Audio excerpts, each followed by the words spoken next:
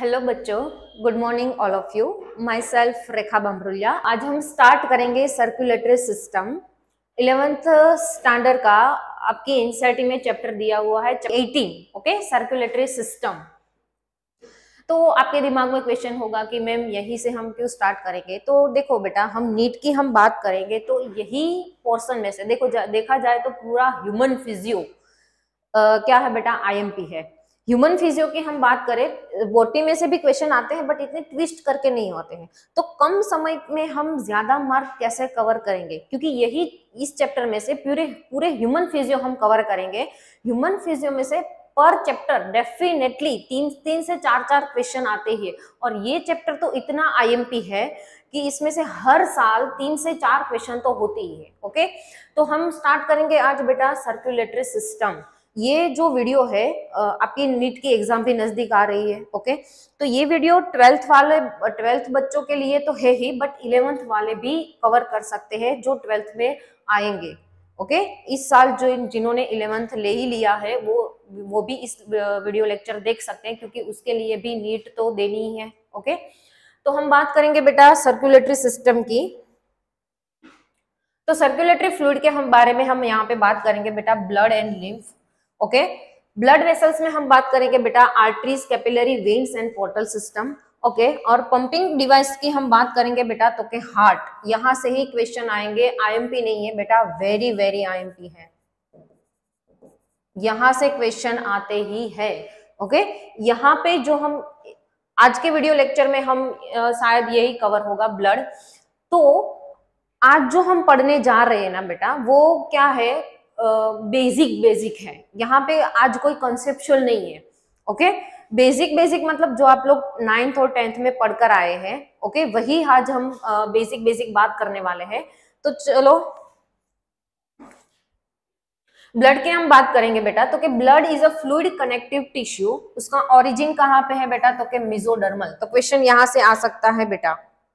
Mesodermal origin है उसका okay देखो, कोई भी कनेक्टिव टिश्यू हो, उसका ओरिजिन कहाँ से होगा बेटा? मिजोडर्मल में से। तुम लोग पढ़ चुके होंगे, हमारे बॉडी के अंदर चार टाइप की फोर टाइप की टिश्यू होती है okay connective tissue muscles okay nerve tissue उसमें से कनेक्टिव टिश्यू में हम ब्लड के बारे में भी वो बात की थी ओके तो ब्लड में उसका ओरिजिन हमारे, हम जब मदर के यूटेरस के अंदर होते हैं, तब तीन टाइप के लेयर देखने मिलते हैं okay embryonic layer ectoderm mesoderm और एंडोडम इसी लेयर में से सारे ऑर्गन बनते हैं। तो ब्लड क्या है बेटा? ब्लड एक कनेक्टिव टिश्यू है ना? फ्लूड कनेक्टिव टिश्यू है। क्या है बेटा? फ्लूइड कनेक्टिव टिश्यू उसका ओरिजिन कहाँ से है बेटा? मिजोडर्म तो एक क्वेश्चन यहाँ से आ सकता है बेटा। Haematology study of blood and its disease उसको हम क्या बोलेंगे बेटा? Haematology okay volume of blood की बात करें बेटा तो के मेल के अंदर जो ब्लड होता है अप्रोक्सीमेटली होता है बेटा फाइव लीटर और फीमेल की बात करते हैं बेटा तो के four to 4.5 litre, okay? Male में थोड़ा ज़्यादा होता है कंपैरिजन टू फीमेल ऐसा क्यों होता है बेटा? देखो ब्लड को बनाने वाले बहुत सारे हार्मोन होते हैं। ब्लड को जो बनाते हैं, उसके लिए बहुत सारे हार्मोन रिस्पॉन्सिबल होते हैं। बट उसमें से एक हार्मोन है जिसका नाम है एंड्रोजन ओके? एंड्रोजन भी इरिथ्रोपोइसिस में मदद करता है। तो एंड्रोजन का लेवल मेल के अंदर थोड़ा ज़्यादा होता है कंपेरिजन टू फीमेल फीमेल के अंदर उसका लेवल क्या होगा बेटा? कम होगा। वैसे देखा जाए तो ब्लड को बहुत सारे हॉर्मोन्स बनाते हैं बेटा। बट उसी में से एक हार्मोन है जिसका नाम है एंड्रोजन तो एंड्रोजन का लेवल मेल के अंदर ज़्यादा होता है फीमेल के अंदर थोड़ा कम होता है। तो मेल के अंदर देखा जाए तो अप्रोक्सीमेटली ब्लड कितना होगा बेटा? फाइव लीटर जो female to comparison comparison to क्या होगा बेटा? थोड़ा ज़्यादा होगा। ओके अब बॉडी वेट के हिसाब से हम देख ले तो मेल के अंदर eight percent eight percent of body weight कितना होगा बेटा? मेल का जितना बॉडी वेट होगा, उतना एट परसेंट उसके अंदर क्या होगा बेटा? उसके वेट के हिसाब से उतना ब्लड होगा ओके फीमेल के हम बात करें बेटा तो के seven percent seven percent of body weight okay? Female के अंदर हम बात करें तो कितना होगा बेटा? Seven percent okay? अब एक्स्ट्रा सेलुलर फ्लूड की हम बात करें बेटा, आप में एक दिमाग में क्वेश्चन होगा कि क्या है बेटा ये एक्स्ट्रा सेलुलर फ्लूड तो एक्स्ट्रा सेलुलर फ्लूड की हम बात करें तो हमारे देखो बेटा नेचर ने बहुत ही अच्छा किया है। नेचर ने क्या किया पता है हमारी बॉडी के अंदर? अलग अलग जगह पे अलग अलग फ़िल्टर सिस्टम रखा, रख दी। देखो, हमारे पूरी बॉडी में मेन कंपोनेंट फ्लूड कौन है बेटा? ब्लड है। ओके? तो उसी ब्लड में से ये सारे फ़िल्टर बनते हैं। ब्लड फ़िल्टर होगा तो एक दूसरा ब्लड बनेगा। देखा जाए तो देखो बेटा, हमारी आइस के अंदर क्या होता है? एक्वेस ह्यूमर होगा। फिर हम ब्रेन की बात करें तो ब्रेन के अंदर होता है सेरिब्रोस्पाइनल फ्लूड फिर हम बोन की बात करें तो वहाँ पे होता है साइनोवियल फ्लूड तो ये सारे फ्लूड जो है, वो किसमें से बनते हैं बेटा? तो कि ब्लड में से बनते हैं। कैसे बनते हैं? तो कि नेचर ने क्या किया? हमारे बॉडी के अंदर अलग अलग जगह पे अलग अलग फ़िल्टर सिस्टम रख दी। तो ब्लड फ़िल्टर होगा तो अलग अलग फ्लूड भी बनेंगे। बनते कहाँ से है बेटा? ब्लड में से बने ना। लिम्फ की बात करें तो हम लिम्फ के बारे में तो हम यही चैप्टर में पढ़ने भी वाले हैं। तो हमारे बॉडी के अंदर जितने भी दूसरे फ्लूड है उन सबको मिलाकर ब्लड भी उसमें आ जाएगा। उन सबको मिलाकर हम क्या बोलेंगे बेटा? एक्स्ट्रा सेलुलर फ्लूड क्या बोलेंगे बेटा? मतलब हमारे बॉडी के अंदर जो अलग अलग टाइप के फ्लूड मिलते हैं। देखा जाए तो सेल के अंदर भी सेल के बीच में भी फ्लूड होता है, जिसको हम बोलते हैं इंटरस्टिशियल फ्लूड ओके फिर सेल के अंदर भी होता है एक फ्लूड ओके तो सारे जो फ्लूड मिलाकर फ्लूड हम क्या बोलेंगे बेटा? एक्स्ट्रा सेलुलर फ्लूड उसके अंदर ब्लड भी आ जाएगा। तो वो कितना होता है बेटा? तो के 15 लीटर कितना होता है बेटा? 15 लीटर तो बहुत इजी है ना? देखो ब्लड कितना है बेटा approximately 5 litre extra cellular fluid कितना है बेटा? 15 लीटर ब्लड भी इसमें आ गया ना? क्या आ गया बेटा? ब्लड भी आ गया। तो मैं ऐसा लिख सकती हूँ बेटा blood form blood form 33 percent thirty three percent of extracellular extracellular fluid मैं ऐसा लिख सकती हूँ बेटा।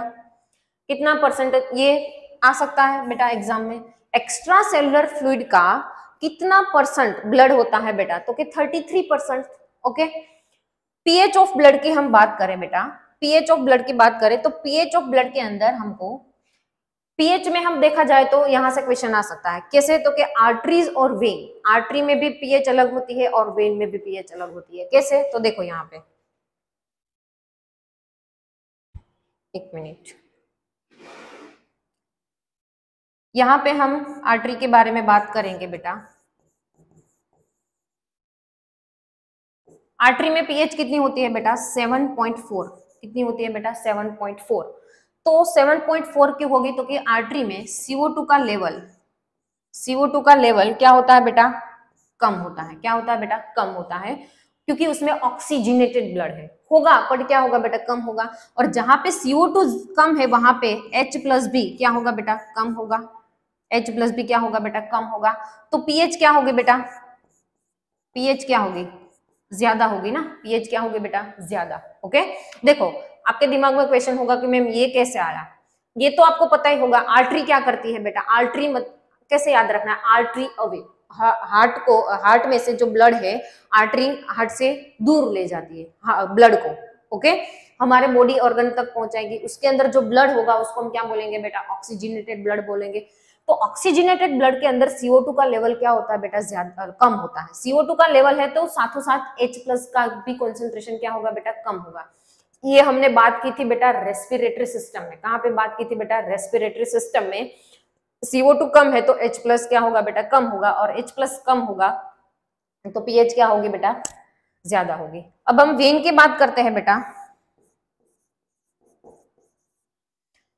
वेन के अंदर सीओ CO2 पीएच कितनी होगी बेटा? 7.2 होगी। कितनी होगी बेटा? 7.2 वेन क्या करती है बेटा? हमारी बॉडी ऑर्गन में से डीऑक्सीजनेटेड ब्लड कहाँ पे लाती है बेटा? हार्ट में लाएगी। तो वेन के अंदर CO2 का लेवल क्या होगा बेटा? CO2 का लेवल क्या होगा बेटा? ज़्यादा होगा। तो H प्लस का भी कॉन्सेंट्रेशन क्या होगा बेटा? ज़्यादा होगा। ओके H प्लस का कॉन्सेंट्रेशन क्या होगा बेटा? ज़्यादा। तो पीएच क्या होगी बेटा? कम होगी। पीएच क्या होगी बेटा? कम। कितनी होगी बेटा? 7.2 कंपैरिजन टू आर्टरी तो एक क्वेश्चन यहाँ से आ सकता है। ओके? तो मुझे लगता है कि इस स्लाइड में आपको कोई डाउट होगा नहीं, ओके? तो नेक्स्ट हम बात करते हैं बेटा ब्लड कंपोजिशन किसकी बात करते हैं बेटा? ब्लड कंपोजिशन की। तो ब्लड कंपोजिशन में हम देखा जाए तो ब्लड के अंदर मेनली ब्लड हमारा दो चीज़ों से बना हुआ। कितनी चीज़ों से बना हुआ बेटा? दो चीज़ों से। तो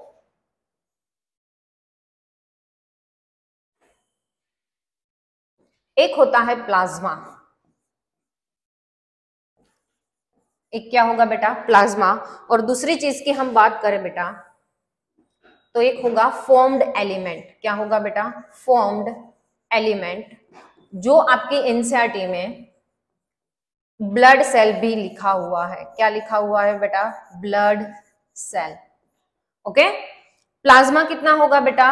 55 परसेंट अब प्लाज्मा क्या है, उन सब के बारे में हम बात करेंगे, okay?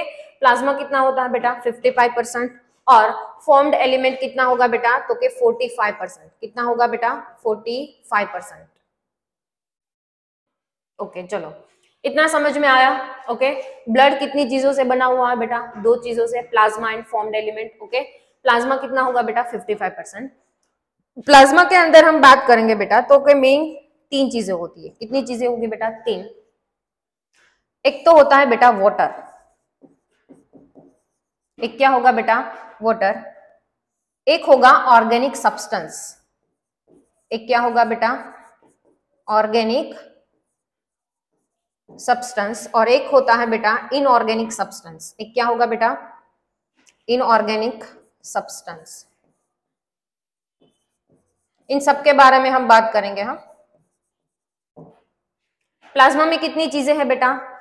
Water organic substance inorganic substance okay formed element में तीन टाइप के सेल देखने मिलते हैं बेटा। फॉर्म्ड एलिमेंट के अंदर कितने टाइप के सेल देखने मिलते हैं बेटा? तीन टाइप के।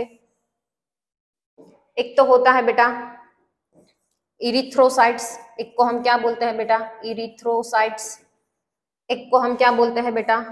ल्यूकोसाइट्स एक को हम क्या बोलेंगे बेटा? ल्यूकोसाइट्स और एक को हम क्या बोलेंगे बेटा? थ्रोम्बोसाइट्स एक को हम क्या बोलेंगे बेटा? थ्रोम्बोसाइट्स ओके देखो इधर। अब मैं जो बोलती हूँ, वो ध्यान से सुनना। देखो अप्रोक्सीमेटली इन वाटर कितना होता है बेटा? 92 92 परसेंट। कितना होता है बेटा? 92 92 परसेंट। ऑर्गेनिक सब्सटेंस कितना होता है बेटा? तो के 8 टू 9 परसेंट। कितना होता है बेटा? 8 टू 9 परसेंट। और इनऑर्गेनिक सब्सटेंस होता है बेटा 1 परसेंट। कितना होता है बेटा? 1 परसेंट। ओके? इरिथ्रोसाइट्स इरिथ्रो का मतलब होता है बेटा रेड क्या होता है बेटा? रेड ल्यूको का मतलब होता है बेटा व्हाइट क्या होता है बेटा? व्हाइट और थ्रोम्बोसाइट्स थ्रोम्बो थ्रोम्बो का मतलब क्या होता है बेटा? थ्रोम्बस थ्रोम्बस का मतलब होता है क्लोट क्या होता है बेटा? Clot okay? तो इरिथ्रोसाइट्स उसको हम क्या बोलते हैं बेटा? आरबीसी क्या बोलते हैं? आरबीसी ल्यूकोसाइट्स को हम क्या बोलते हैं बेटा? डब्ल्यू हम सबको एक एक डिटेल में बात करेंगे और इसको हम बोलते हैं बेटा प्लेटलेट क्या बोलते हैं बेटा? प्लेटलेट क्लियर यहाँ तक यहाँ तक कोई डाउट रहना नहीं चाहिए। बहुत ही इजी इजी है ओके हम प्लाज्मा डिटेल आज हम प्लाज्मा कवर करेंगे। क्या कवर करने वाले हैं बेटा? प्लाज्मा ओके जो जो क्वेश्चन आ सकता है, वो मैं बोलती जाऊँगी। आप लोग नोट करते जाना ओके ब्लड कंपोजिशन में दो plasma and formed element. Plasma में दो तीन चीज़ें हैं water organic substance and inorganic substance okay तो पहले हम बात करने वाले हैं बेटा प्लाज्मा। प्लाज्मा में से वाटर तो सबको पता ही है। तुमने सुना आप लोगों ने सुना भी होगा कि आ, हमारा जो ब्लड है वो रोज आ, नया नया बनता ही जा रहा है ओके तो वो ब्लड में मेन चीज़ें क्या है बेटा? प्लाज्मा है ना? Plasma and formed element. ये तो पता है सारे सेल बनते हैं ओके बोन मेरो में वो हम बात करेंगे। प्लाज्मा में मेन कौन है बेटा? वाटर तो वाटर कहाँ से आया? जो हम ड्रिंक करते हैं ना तो उसी में से क्या बनता है बेटा? प्लाज्मा बनता है ओके तो अब हम बात करेंगे बेटा पहले ऑर्गेनिक सब्सटेंस के बारे में। किसके बारे में बात करेंगे बेटा? ऑर्गेनिक सब्सटेंस तो उससे पहले थोड़ी टर्मिनोलॉजी है, वो देख लेते हैं ओके ऑर्गेनिक सब्सटेंस से पहले हम ये टर्मिनोलॉजी देख लेते हैं। तो देखो प्लाज्मा ब्लड में से ब्लड में से हमको क्या निकाल देना है बेटा? फॉर्म्ड एलिमेंट क्या निकाल देना है बेटा? फॉर्म्ड एलिमेंट उसको हम क्या बोलते हैं बेटा? Plasma blood cell formed element का मतलब क्या है बेटा? ब्लड सेल ब्लड में से हम ब्लड सेल को माइनस कर देंगे तो उस, जो बचेगा, उसको हम क्या बोलेंगे बेटा? प्लाज्मा अब हम सीरम की बात करेंगे बेटा। देखो हमको चोट लगती है। चोट लगने लगने की वजह से यहाँ पे थोड़ी देर के बाद क्या हो जाता है बेटा? क्लोट हो जाता है। क्या हो जाता है? क्लोट। फिर थोड़ी देर वहाँ पे येलो येलोइश हो जाता है। वो जो येलो येलोइश है ना बेटा, वो है सीरम क्या है बेटा? सीरम तो सीरम में हम क्या कर देंगे बेटा? Plasma minus plasma minus clotting factor क्या माइनस करना है बेटा? क्लॉटिंग फैक्टर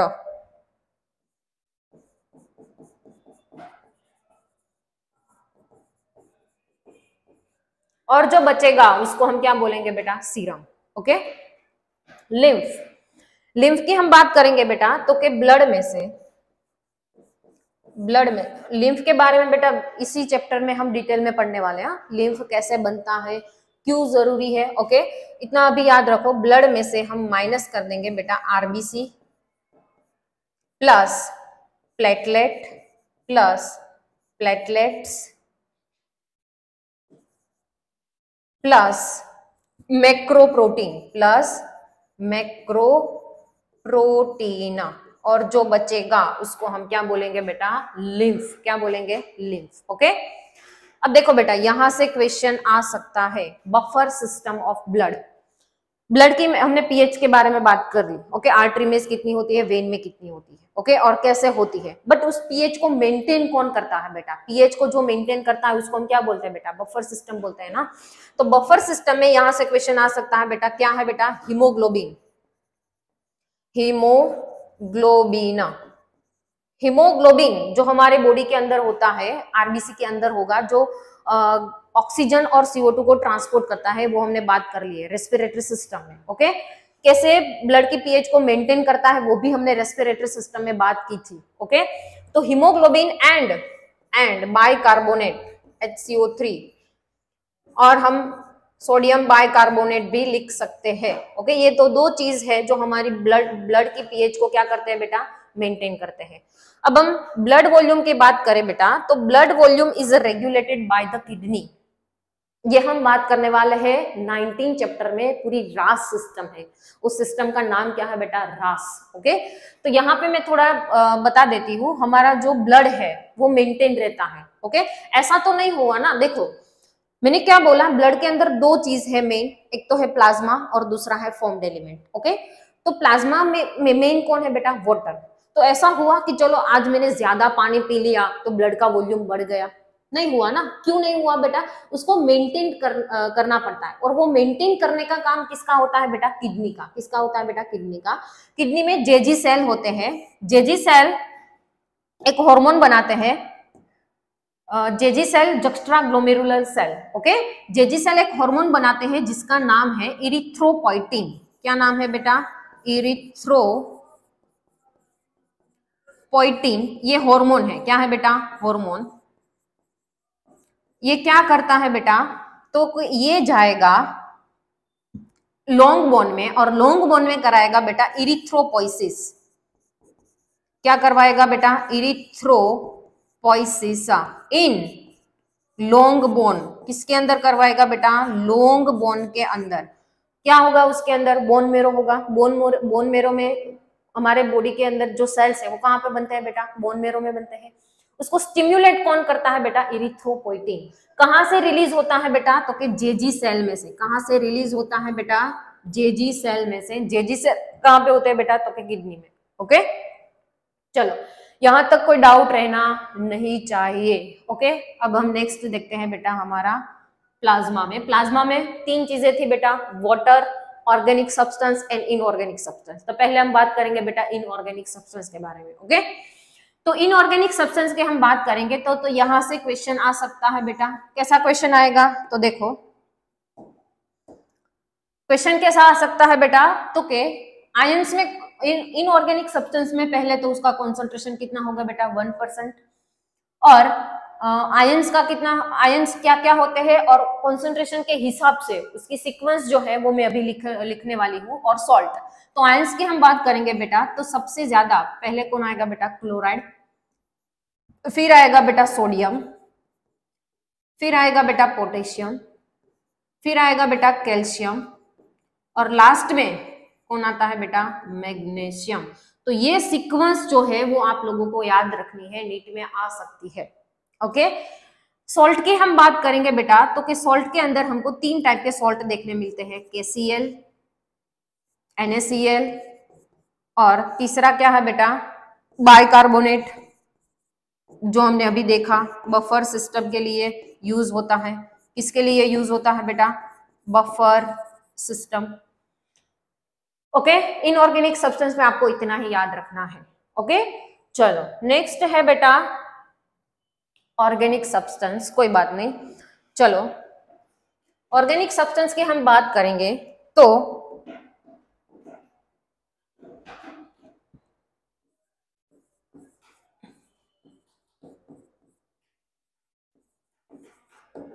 ऑर्गेनिक सब्सटेंस में हम चार चीज़ पढ़ने वाले हैं, ओके? ब्लड के अंदर पहले से बोल रही हूँ, ब्लड के अंदर मेन प्लाज्मा प्लाज्मा के अंदर तीन चीज़, water organic substance and inorganic substance, okay? Inorganic substance के बारे में हमने पढ़ लिया। अब हम पढ़ने जा रहे हैं बेटा ऑर्गेनिक सब्सटेंस, जो कितने परसेंटेज में होगा बेटा? ऑर्गेनिक सब्सटेंस कितना होता है बेटा? एट टू नाइन परसेंट कितना होता है बेटा? Eight to nine percent okay? Organic substance में हम पढ़ने चार चीज़ें पढ़नी है। कितनी चीज़ें? पहले हम बात करते हैं बेटा प्रोटीन की। मैक्सिमम कौन होता है बेटा? प्रोटीन। तो पहले हम बात करते हैं बेटा प्रोटीन फिर है हमारा जो ए है, वो है प्रोटीन बी क्या होगा बेटा हमारा? ब्लड सुगर क्या होगा बेटा? ब्लड सुगर तीसरा जो होगा, वो होगा बेटा हमारा ब्लड कोलेस्ट्रॉल क्या होगा बेटा? ब्लड कोलेस्ट्रॉल और फोर्थ वन जो होगा हमारा दैट इज़ ब्लड यूरिया क्या होगा बेटा? ब्लड यूरिया ये चार चीज़ के बारे में हम बात करने वाले हैं ओके तो पहले से हम स्टार्ट करेंगे बेटा प्रोटीन के बारे में ओके ऑर्गेनिक सब्सटेंस में इतनी चीज़ें आती है जो हमारे ब्लड के अंदर प्रेजेंट होती है ओके तो चलो पहले हम बात करते हैं बेटा प्रोटीन के बारे में। प्रोटीन कितने टाइप के प्रोटीन होते हैं बेटा? तो के मेनली तीन टाइप के प्रोटीन देखने मिलते हैं। कितने टाइप के प्रोटीन देखने मिलते हैं बेटा? तीन टाइप के। एक होता है अल्ब्यूमिन क्या होता है बेटा? अल्ब्यूमिन एक होता है बेटा फाइब्रिनोजन। एक क्या होता है बेटा? Fibrinogen and prothrombin. एंड क्या बोलेंगे बेटा? प्रोथ्रोम्बिन। ओके, और लास्ट वन जो होगा, जो हम डिटेल में पढ़ने वाले हैं बेटा ग्लोब्यूलिन उसका नाम क्या है बेटा? ग्लोब्यूलिन तो पहले हम अल्ब्यूमिन और फाइब्रिनोजन के बारे में बात कर लेते हैं, ओके? तो अल्ब्यूमिन और फाइब्रिनोजन अल्ब्यूमिन के बारे में मैं लिखू तो smallest protein blood protein smallest smallest blood protein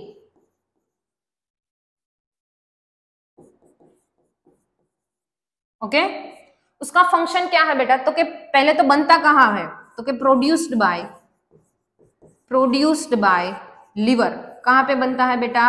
liver के अंदर। कहाँ पे बनता है? लिवर के अंदर ओके नेक्स्ट इसका फ़ंक्शन क्या है? तो के ऑस्मो रेगुलेशन क्या करता है बेटा? ऑस्मो रेगुलेशन अब आपके दिमाग में क्वेश्चन होगा मैम ऑस्मो रेगुलेशन किसको बोलते हैं? देखो, हमने सिक्सटीन चैप्टर में क्या बात की थी बेटा? प्रोटीन की डेफिशिएंसी की वजह से एक डिज़ीज़ होता है दैट इज़ कोशियोकर जिसमें पेट फूल जाता है ओके तो ये क्या है बेटा? अल्ब्यूमिन है ना? क्या है? प्रोटीन है। ओके तो हमारे बॉडी के अंदर वाटर आयंस प्रोटीन उन सबका कॉन्सेंट्रेशन मेंटेन रहता है। उसको बोलते हैं बेटा ऑस्मो रेगुलेशन उन सबका कॉन्सेंट्रेशन क्या रहना चाहिए बेटा? मेंटेन रहना चाहिए। उसको हम क्या बोलते हैं बेटा? ऑस्मो रेगुलेशन और उस ऑस्मो रेगुलेशन करने का काम किसका है बेटा? अल्ब्यूमिन का। ओके अब हम बात करते हैं बेटा फाइब्रिनोजन और प्रोथ्रोम्बिन तो लार्जेस्ट प्रोटीन ये कौन सा है प्रोटीन है बेटा? Largest protein largest blood protein है ओके ये क्या था बेटा? स्मॉलेस्ट ब्लड प्रोटीन था। कहाँ पे बनता है बेटा? ये भी लिवर के अंदर बनता है। कहाँ पे बनता है बेटा? लिवर के अंदर। और इसका फ़ंक्शन क्या है बेटा? तो कि ब्लड को क्लॉटिंग करने में हेल्प करता है। किसमें हेल्प करता है बेटा? ब्लड को क्लॉटिंग करने में। हम कहीं पे भी इंजर्ड हो जाते हैं तो थोड़ी देर के बाद वहाँ पे क्या हो जाता है बेटा क्लोट का फॉर्मेशन हो जाता है ना, ताकि ब्लड कंटिन्यूसली वहाँ से ना निकल पाए ओके जो ऐसा होगा तो हमारे बॉडी के अंदर तुरंत क्या हो जाएगा बेटा एनीमिया हो जाएगा ना? तो ऐसा ना हो तो हमारे नेचर ने क्या किया बेटा, हमारे बॉडी के अंदर क्लॉटिंग सिस्टम होती है। थर्टीन क्लॉटिंग फैक्टर होते हैं जो आपको उसके नाम अभी याद नहीं रख रहे हैं क्योंकि पुरानी जो बुक थी उसमें नाम भी थे। अब नाम आपको नहीं याद रखने हैं। क्लॉटिंग सिस्टम भी हम इसी चैप्टर में आ, बात करने वाले हैं। बट उसमें कौन मदद करेगा बेटा? मेन जो है फाइब्रिनोजन है लार्जेस्ट ब्लड प्रोटीन है। अब हम ग्लोब्यूलिन की बात करेंगे बेटा बट ग्लोब्यूलिन हमको डिटेल में पढ़ना है ओके तो इस स्लाइड में आपको कोई क्वेश्चन नहीं होगा ओके तो चलो हम बात करते हैं बेटा पहले। ग्लोब्यूलिन की। किसकी बात करते हैं बेटा? ग्लोब्यूलिन की। तो ग्लोब्यूलिन देखा जाए, जो ग्लोब्यूलिन है,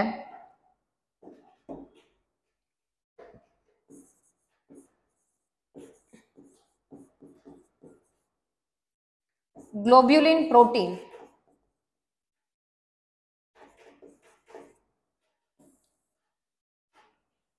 अभी तक हमने क्या बात की बेटा? प्लाज्मा में water organic substance inorganic substance organic substance में हम बात कर रहे हैं मेन प्रोटीन प्रोटीन में हम तीन टाइप के प्रोटीन पढ़ा बेटा। Albumin fibrinogen and globulin globulin की हम बात करेंगे तो यहाँ पे तीन टाइप के ग्लोब्यूलिन प्रोटीन है। कितने टाइप के प्रोटीन है बेटा? तीन टाइप के।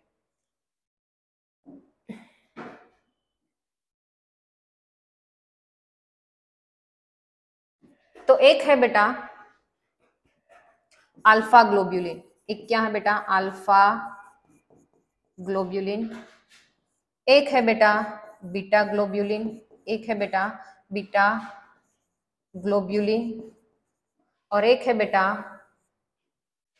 Gamma globulin. एक क्या है बेटा? Gamma globulin. ओके, चलो।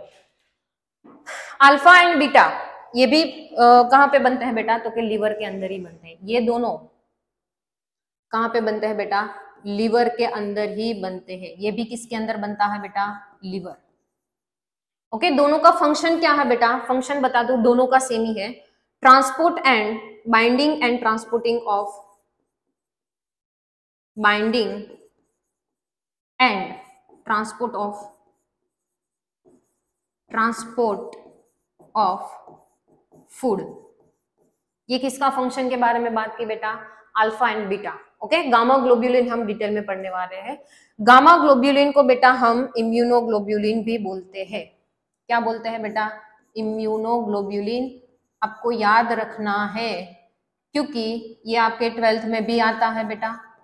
एट चैप्टर में याद करो।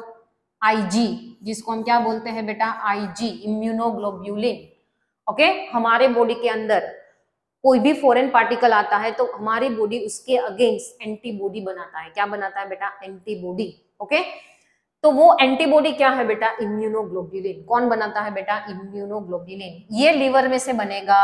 नहीं। इसको ये produced by produced by plasma cell कौन बनाता है बेटा? प्लाज्मा सेल अब ये प्लाज्मा सेल कहाँ से आया बेटा? प्लाज्मा सेल मतलब याद करो chapter number eight plasma cell को हम एक्टिवेटेड बी लिम्फोसाइट भी बोलते हैं बेटा। इसको हम क्या बोलते हैं बेटा? Activated activated B lymphocyte lymphocytes के दो टाइप्स थे बेटा T cell and B cell B cell B cell में दो types memory cell and plasma cell plasma cell क्या बनाता है बेटा? गामा ग्लोब्यूलिन और यही यही ग्लोब्यूलिन क्या करता है बेटा? अलग अलग टाइप की एंटीबॉडीज बनाता है ओके तो प्लाज्मा सेल का दूसरा नाम क्या है बेटा? Activated B lymphocyte okay produced by plasma cell gamma globulin का दूसरा नाम याद रखना है। उसका फ़ंक्शन फ़ंक्शन लिख दू तो बेटा यहाँ पे मैं लिख सकती हूँ प्रोटेक्शन हमारी बॉडी को डिफेंस सिस्टम के लिए कौन रिस्पॉन्सिबल है बेटा? डब्ल्यूबीसी और डब्ल्यूबीसी का एक सेल टाइप्स है, जिसका नाम है बेटा लिम्फोसाइट लिम्फोसाइट्स में दो type T cell and B cell B cell में वापस दो types plasma cell and memory cell okay ये प्लाज्मा सेल क्या करेगा बेटा? जब प्रोड्यूस एंटीबॉडी बनाने लगेगा, तब इसको हम क्या बोलेंगे बेटा? एक्टिवेटेड बी लिम्फोसाइट और उसका फ़ंक्शन क्या हुआ बेटा? तो क्या प्रोटेक्शन क्या हुआ बेटा? प्रोटेक्शन चलो, इस इतने स्लाइड में कोई डाउट होना चाहिए? नहीं ओके नेक्स्ट हम बात करते हैं बेटा। अब तक हमने क्या बात की बेटा? प्रोटीन की। दूसरा क्या था बेटा? सुगर था ना? ओके तो नेक्स्ट जो है हमारा क्या है बेटा? सुगर है। Blood sugar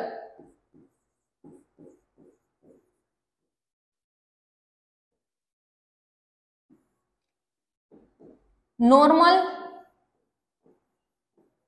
blood sugar कितना होगा बेटा? Normal blood sugar 100 milligram 100 milligram per decilitre. कितना होता है बेटा? नॉर्मल ब्लड शुगर हमारे बॉडी के अंदर कितना होता है बेटा? 100 मिलीग्राम पर डेसीलीटर। इफ़ इसमें दो कंडीशन है बेटा। जो ब्लड शुगर हमारा हाई हो जाएगा मतलब greater than 100 milligram per decilitre तो इसको हम क्या बोलते हैं बेटा?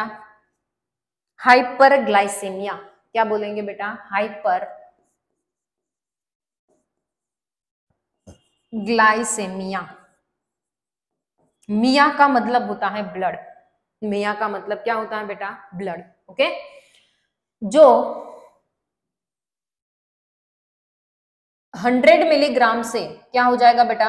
कम हो जाएगा. 100 मिलीग्राम पर डेसीलीटर तो उसको हम क्या बोलेंगे बेटा? हाइपोग्लाइसेमिया। क्या बोलेंगे बेटा? हाइपोग्लाइसेमिया। ओके? थर्ड हमने किसके बारे में बात की थी बेटा? थर्ड हमने बात की थी बेटा कोलेस्ट्रॉल की।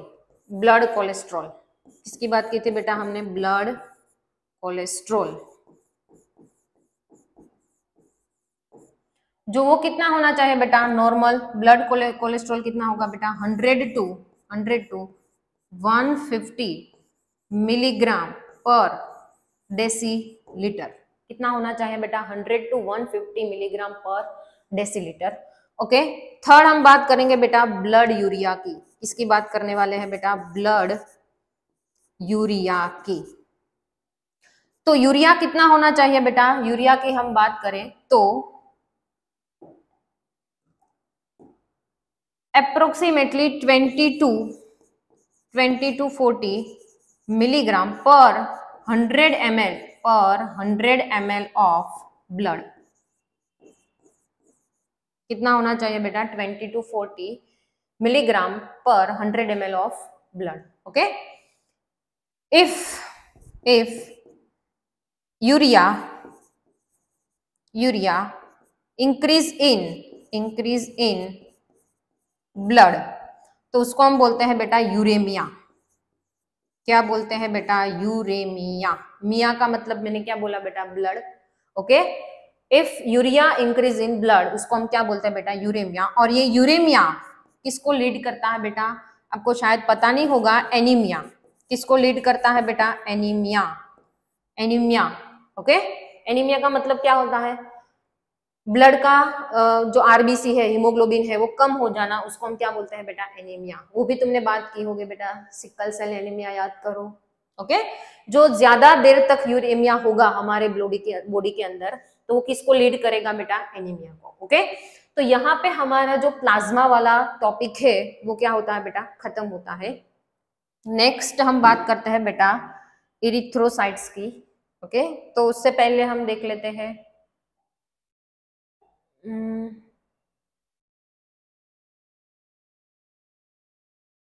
ओके हम्म यहाँ तक किसी को कोई डाउट रहना चाहिए?